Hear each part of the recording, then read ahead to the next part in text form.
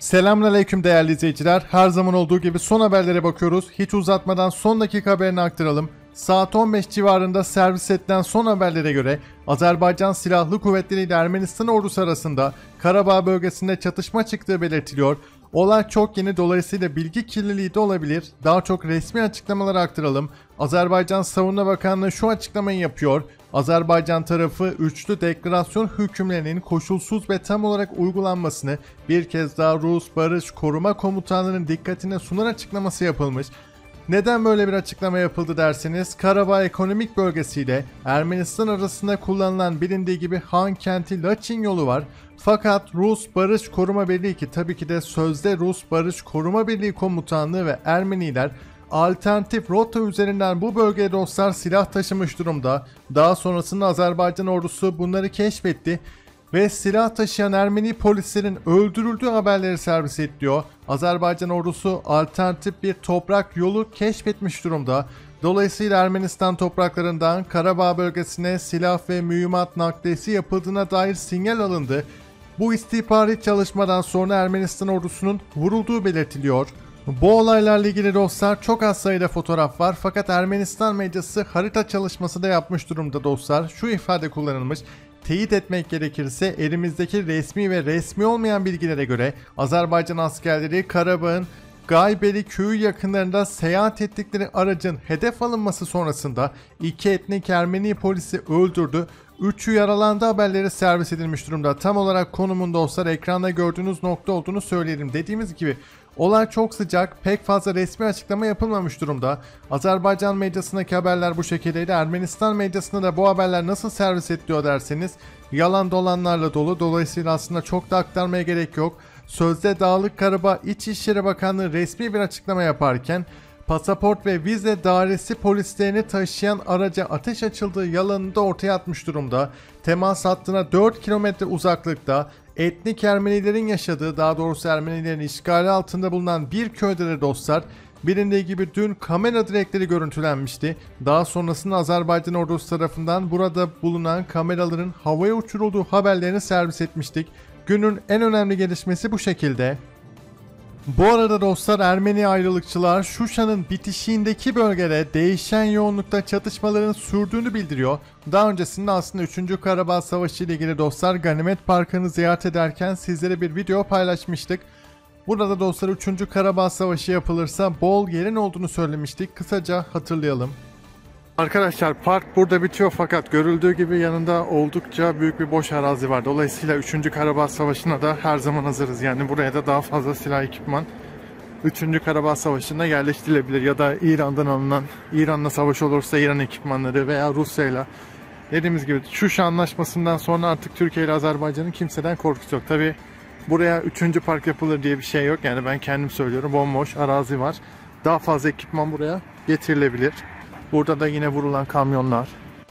Azerbaycanlı yetkililer şu değerlendirmeyi yapıyor. Azerbaycan ordusu Ermenistan'ın terör politikasına gereken yanıtı veriyor. Ermenilerin Karabağ silah taşıdıkları Halfeli yolunda 3 Ermeni teröristin gebertildiği ifadesi kullanılırken net olarak Karabağ'da anti terör operasyonu başladığı yönünde de dostlar haberler servis edilmiş durumda. Biz dünyadan diğer gelişmeleri aktaralım. Günün en önemli gelişmesi buydu fakat bunun dışında önemli gelişmeler de var dostlar.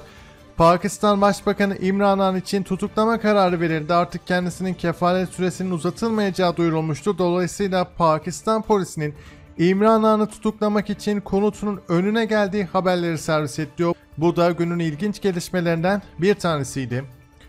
Diğer haberler Dışişleri Bakanımız Mevlüt Çavuşoğlu, Katar'ın başkenti Doha'da düzenlenen 5. Birleşmiş Milletler en az gelişmiş ülkeler konferansına katılım sağlıyor. Ardından Bakan Çavuşoğlu'nun en az gelişmiş ülkeler konferansında konuşma yaptığı belirtilirken en az gelişmiş ülkeler konferansına sadece Türkiye değil dostlar Katar katılım sağlıyor. Zaten Katar'da yapılıyor. Yine Pakistan Başbakanı Şahbaz Şerif de bu konferansa katılım sağlamış durumda. Katar Emiri Şeyh Temim bin Hamad El Sani başkent Doğa'da düzenlenen en az gelişmiş ülkeler konferansının açılışında konuşurken Kendisi aslında dünyaya net bir mesaj vermiş durumda. Dünyada dostlar aslında böyle bir ayrımın olmaması gerektiği, en az gelişmiş ülkeler diye bir şeyin olmaması gerektiği yönünde de değerlendirme yapılıyor. Pakistan demişken Pakistan yönetimi ve Pakistan halkı Türkiye'ye şu ana kadar 26 uçak yolladı ve 21 tır yolladı. Deprem yardımından bahsediyoruz. Yine Pakistan donanmasının Türkiye için yola çıktığını da hatırlatalım. Kosova'ya gidiyoruz. Kosova Kurtuluş Ordusu'nun yani UÇK'nin kurucu komutanlarından Adem Caşeri ve ailesinin Sırp asker, polis ve paramiliter birlikler tarafından öldürülmesinin üzerinden 25 yıl geçti. Prekas katliamı olarak biliniyor. Ülkeye NATO tarafından uluslararası müdahale yapılması konusunda dönüm noktası olduğunda not düşelim.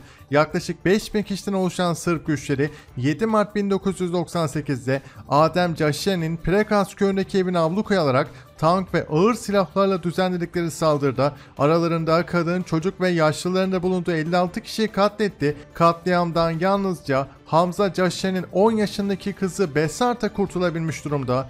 Bilindiği gibi Sırplar dostlar katliamlarıyla dünya tarihine geçmiş durumda.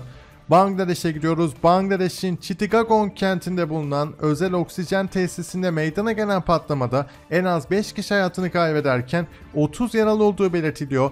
Yaralanan işçiler Chittagong'daki tıp hastanesine sevk edilmiş durumda. Çin'e gidiyoruz. Çin Halk Kurtuluş Ordusu ait HQ-11 aracını görmektesiniz. Zhuai Air Show'da zaten sergilenmişti. İlk defa halk tarafından sokakta fotoğrafı paylaşılıyor. Entegre atış kontrol radarına sahip araçtan bahsediyoruz. Çin sistemleri gelişmeye devam ederken artık Rusya'dan Çin'e değil Çin'den Rusya'ya teknoloji satışı yapılmasına dikkat çekiyor. Bir diğer haber Fransız ordusu askeri operasyonlar birimi tarafından resmi açıklama yapıldı. Fransa ile Çad arasında işbirliği derinleşiyor. Agata tatbikatına yönelik Çad Hava Kuvvetleri ile Fransa arasında gerçekçi bir senaryo bağlamında işbirliği mesajı verilmiş durumda. Sahel bölgesinden Fransa ordusu tarafından resmi bir görüntü paylaşılıyor.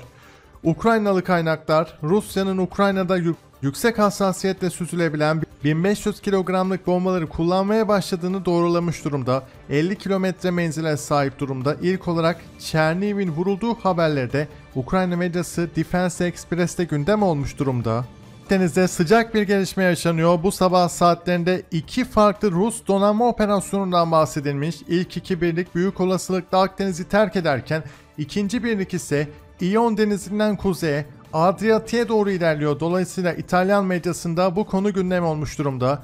Akdeniz'de Rus donanma birliklerinin hareketi dikkat çekerken Paşin tankeri ve Amiral Kasatonov fırkatinin görüntülendiği belirtilmiş durumda. Bu noktada geçtiğimiz günlerde Suriye'nin Tartus limanından ayrılan iki birliğin Rusya'ya gitmek üzere Akdeniz'den ayrılacakları Cebeli Tarık'a yönelmelerinin de kuvvetle muhtemel olduğunu not düşelim.